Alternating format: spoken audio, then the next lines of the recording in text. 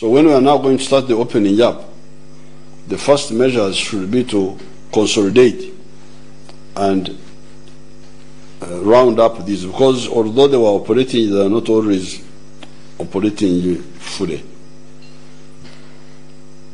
Such measures are the following. Number one, with agriculture continuing its function, we had correctly allowed the food markets to continue operating. Hence, those will continue.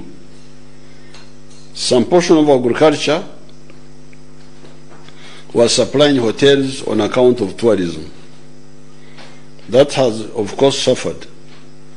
However, given the high sickness levels abroad, we cannot risk to open the airports or the land and water borders for passengers.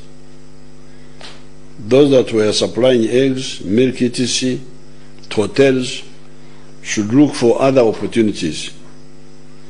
One, one very eh, innovative Ugandan is now processing egg yolk, omtoro, into egg powder, pasteurized egg yolk, and egg white or wheezy into pastry cream for baking, mayonnaise, and the egg the egg shell, into highly nutritious porridge, which is rich in calcium, and also turned into animal feeds. So, our people must now broaden their, their, their, their, enterprises, not just to depend on this uh, fresh consumption of our products. There, are deeper uh, efforts that can help us. The milk producers are now processing milk into casein, a protein for food supplements and baby foods, into cheese, butter, ghee, etc. So agriculture will continue, only that we need to adjust here and there.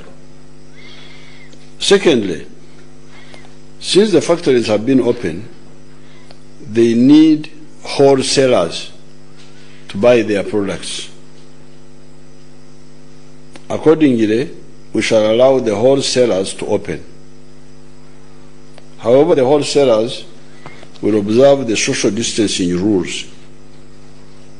The seller must be two meters from the customer, but should be protected with a mask, and the customers must be four meters apart.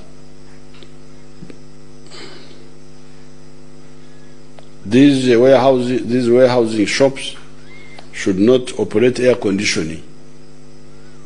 They must be air supplied by open windows and doors. If they are not where the, the, the, the storage is, uh, of course, storage sometimes they need air conditioning for their own things, but where people are, air conditioning is not good. Number three, also allowed to open are the hardware shops so that they sell factory goods, cement, mitayimbwa, sengenge, paint, etc., but also supply the construction sites. Number four, since cargo trucks are moving and have been moving, they need mechanics to maintain them. Accordingly, we shall allow the opening of the repair workshops and garages. Number five, also to be opened will be the metro and wood workshops. abo nabo si bangi nnyo ekiyitiridde katubaleke tulabe engeri ensonga bwe zitambulamu now all these businesses need insurance uh, insurance providers therefore insurance providers will be added to the list of the essential services so they can support the factories, the farms, and the shops. Business and other activities always have crooks among them. And that's why we need lawyers. Lawyers. So, because lawyers are, special, are specialists in, in, in dealing with the, uh, all sorts of people, the, are, the Uganda Law Society will be allowed a, a quota of 30 lawyers at any one time to provide urgent legal services to the different businesses and to handle urgent criminal matters like arraignment. Number eight, the restaurants will only be allowed to provide takeaways. The restaurants will be open, but not to allow people to come and sit there and eat and uh, no, no, no, no. To, to provide the takeaways so that people come and take and to, to their homes. Number nine, warehouses are vital for the storing of factory products. They will also be allowed to, to open.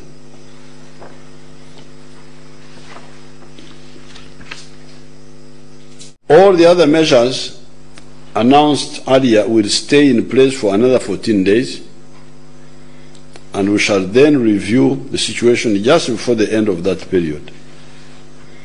These are the big measures we took at the beginning of the crisis the closure of schools, the suspension of public assemblies for politics or culture, the religious suspe uh, suspension of religious assemblies, etc., etc.